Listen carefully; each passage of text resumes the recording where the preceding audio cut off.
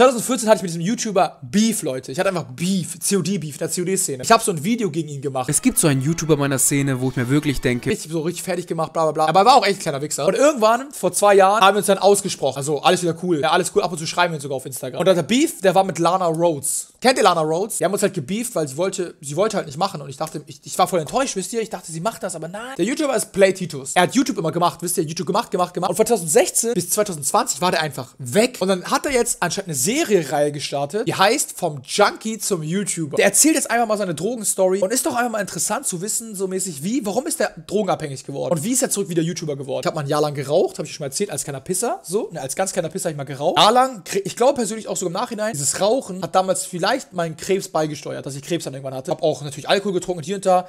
Ich habe noch nie aber Tabletten gesch geschmissen oder halt auch was Härteres genommen, weil ich hatte den Drang jetzt nicht dazu und ich habe auch jetzt noch nicht das Verlangen. Ich hatte auch ganz schlimme Erfahrungen mit, äh, mit Gras gemacht, da habe ich auch Videos von mir zu auf YouTube, übelsten Abschuss auf Gras hatte. Ja, das geht wirklich, Leute, man kann auch einen Abschuss auf Gras haben, weil ich habe so viel konsumiert, dass ich eine Panikattacke bekommen habe und dachte, ich sterbe, obwohl es in Anführungszeichen nur Gras war, weil von Gras kannst du an sich eigentlich nicht sterben. Es gibt, glaube ich, ein Todesfall auf der Welt, was Gras angeht, weil wenn du eine Überdosis von Gras hast, schläfst du eigentlich in der Regel einfach nur ein. Ist mir auch passiert, ich hatte eine Überdosis von Gras, hatte eine Panikattacke deswegen, dachte, ich sterbe, dann bin ich einfach eingeschlafen, am nächsten Tag aufgestanden, dann ging es mir wieder gut, aber ich habe auch mal schlimme Erfahrungen schon gemacht. Letztes Mal habe ich aufgehört an dem Punkt, wo ich prinzipiell keinen Job hatte, meine Schule abgebrochen habe, Marihuana abhängig war, einen kriminellen Freundeskreis hatte. Digga, es ging ja weiter, Schule abgebrochen, weedabhängig gewesen, Freunde, die kriminell sind, Bro, wo warst du gelandet? Step in der Geschichte war letztes Mal, dass ein Kollege um die Ecke kam, eine weiße Tüte vor die Nase gehalten hat. Dazu möchte Also weiße Tüte, Kokain halt, ne? jeden Tag Drogen konsumiert wurde. Jeden Tag, Tag ein, Tag aus, von morgens bis abends wurde immer Drogen konsumiert. Viele Monate danach haben wir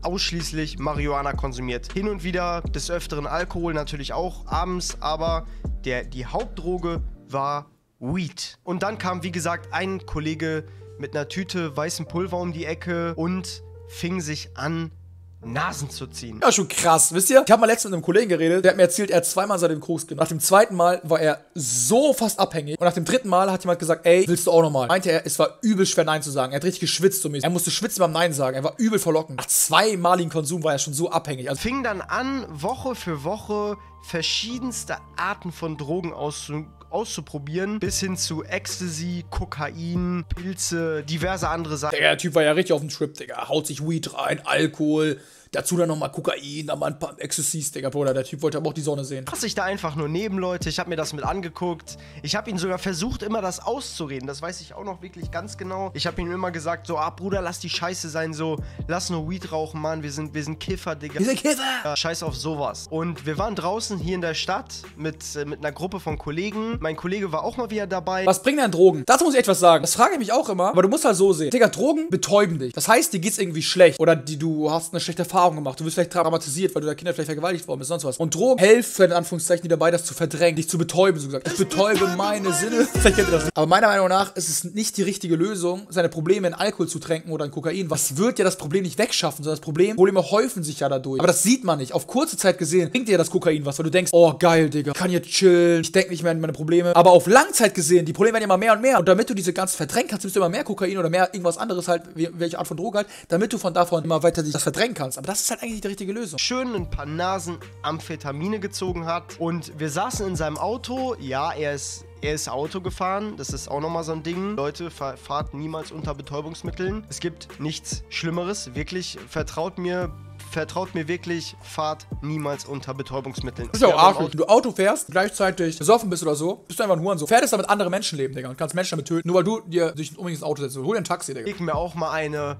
heute will ich das mal ausprobieren. Tage und Stunden und Wochen hat er immer, wenn ich ihm versucht habe, diese Drogen schlecht zu reden, hat er immer gesagt, ah Digga, das musst du mal ausprobieren, zieh dir mal eine Nase und du wirst sehen, es ist so geil und hat es immer gut geredet und das war natürlich ein unfassbarer schlechter Einfluss. Er hat mich immer Oh, Junge, was ein Kack-Einfluss. an diesem Abend habe ich mir dann so gedacht, ah ja gut, okay, eine Nase kann man ja mal ausprobieren, kann man Das habe ich auch mal gedacht, ne? aber nee, ich glaube, das geht dann eine richtig falsche Nummer, wenn du eine Nase schon ziehst. Vor allem Kokain ist auch sehr, also das Kokain macht ja sehr süchtig. kann man ja mal ausprobieren. Leute, ich will euch nicht dazu animieren, Drogen zu nehmen. Aber ich sag mal so, solange das alles in einem Rahmen bleibt, kann man machen, was man will. Vertraut mir, Amphetamine, der Teufel in Person. Diese Droge, diese Droge tötet eure Seele. Boah, euch. Digga, das ist aber abschreckend. Ich wollte es auch eigentlich gar nicht machen. Ja, du hast Kollegen, alle deine Kollegen kiffen, alle deine Kollegen nehmen Drogen. Dann willst du natürlich irgendwo, auch wenn du es nicht zugibst, also ich schätze, du gibst es zu, weil du du schon sehr reflektiert drüber redest, bist du einfach beeinflussbar und denkst, ja, Gruppenzwang, ich muss jetzt. Und ich sag euch eins, Leute, ich habe diese Nase gezogen. Ich hatte das Gefühl, fünf Sekunden nachdem ich diese erste Nase gezogen habe,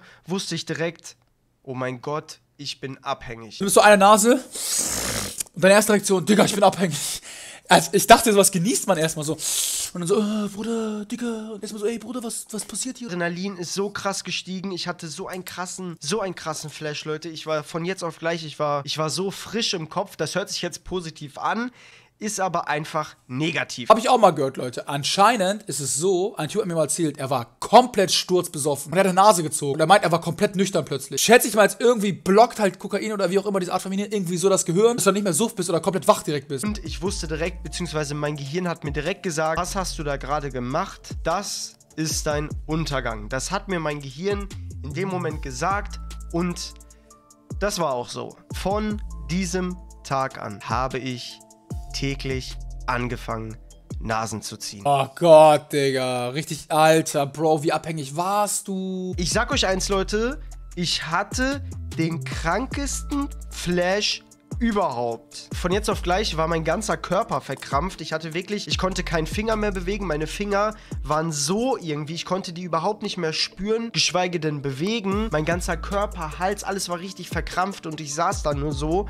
Mir ging's todesschlecht, mein Herz war am Rasen. Digga, was ein Scheiß-Trip ist das denn? Selbst das alles hat nicht gereicht, mich davon abzuhalten, weiterhin diese What the fuck, stell dir vor, ich zieh eine Nase. Ich piss mir in die Hose. Wirklich, ich pisse mir hier in die Hose vor euch, Leute. Ich hab Pisse hier. Was mach ich am nächsten Tag? Ich hol mir noch eine Nase. Du hast ja gefühlt in die Hose gepisst. Also hört mal, also im Vergleich zu deinen Schmerzen. Aber trotzdem weiter, oder was? Leider habe ich mich daran gewöhnt, jeden Tag nicht nur Cannabis zu konsumieren, sondern auch jeden Tag Amphetamine zu konsumieren. Kurze Zeit später kam sogar Kokainer dazu. Bruder, was ist das für ein scheiß Leben? Sorry, ich muss mal sagen, Leute. Du rauchst jeden Tag einen Joint. Du nimmst jeden Tag eine Nase. Dann nimmst du noch Kokain. Bro, was, Bro, was ist das für eine Kacke, in der du gefangen warst? Aber kurze Zeit später viele Anzeigen kassiert, sehr viele Anzeigen von Drogenbesitz bis hin zu möchte ich nicht drüber reden. Schade, er war so offen, da hätte auch drüber reden können. Und dann fing meine Ausbildung an. Körperlich arbeiten musste. Ich musste morgens früh aufstehen um kurz nach sechs. Ich musste zur Arbeit und bis 16 Uhr, was ich erstaunlicherweise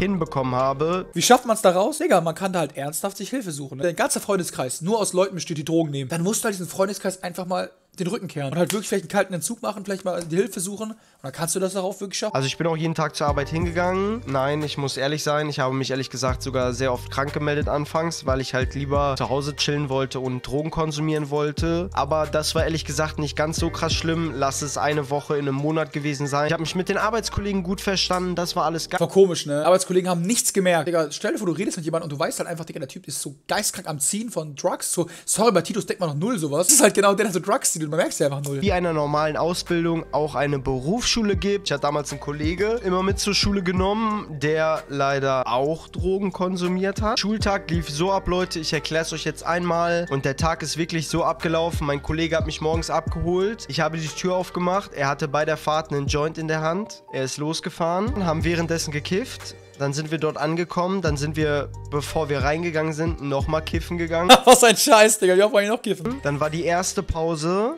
Dann haben wir wieder einen Joint gekifft in der Digga, drei Joints innerhalb von vier Stunden oder was? Pause. Dann waren wieder zwei Stunden Unterricht. Dann war wieder Pause. Wir haben wieder einen Joint. Wer hat diesen fucking Konsum finanziert? Dann waren wieder zwei Stunden Unterricht. Es war Feierabend. Wir haben uns einen Joint geraucht. Er hat mich nach Hause gebracht. Wir haben zwei, drei Stunden unseren Rausch ausgeschlafen. Er hat mich wieder abgeholt. Und weiter gekifft. Let's go. Wir haben weiter gekifft. Weiter Nasen gezogen. Ach du Scheiße. What the fuck? Was ist das denn für ein Kackleben, Bro? Respekt, dass du so offen darüber redest, wirklich. Gott, oh Gott, war das kacke. Und das Problem war, dass ich dadurch halt wirklich extrem, extrem viel verpasst habe in der Schule, beziehungsweise um genau zu sein, alles. Ganz ehrlich, Digga, du warst auch einfach tot. Den ganzen Tag kiffst, dann noch Nasen ziehst und da, da schaffst du es doch einfach in der Schule. Da bist du doch am Arsch einfach nur, Mann. Also ich hab's geschafft, ohne Drogen zu nehmen, von der Schule zu fliegen. Fast anderthalb Jahre hingezogen. Also so ein Jahr, Halbes Jahr. Boah. Monate und drei Monate vor meiner Zwischenprüfung. Leute, ich habe noch nichts gewusst. Ich wusste theoretisch gar nichts. Praktisch Gar nichts.